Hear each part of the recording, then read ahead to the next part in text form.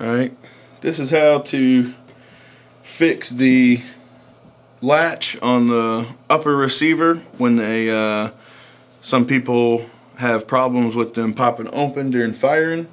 So I'm going to show you a quick way to kind of fix that. Um, first check, make sure the gun is empty.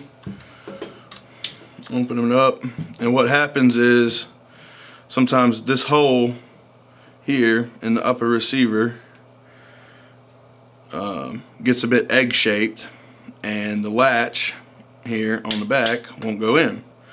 So if you feel comfortable doing this, um, do it. If not, send it in and we will do it for you.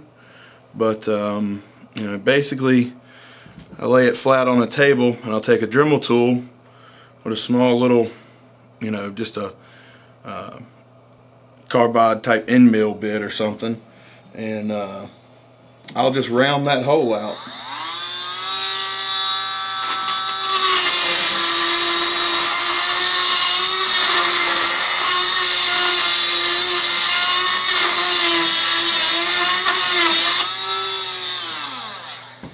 And I'll do that a couple times until I can get it to latch good and snug. Make sure it's going all the way. And you can tell with the gap here between your latch and your upper receiver.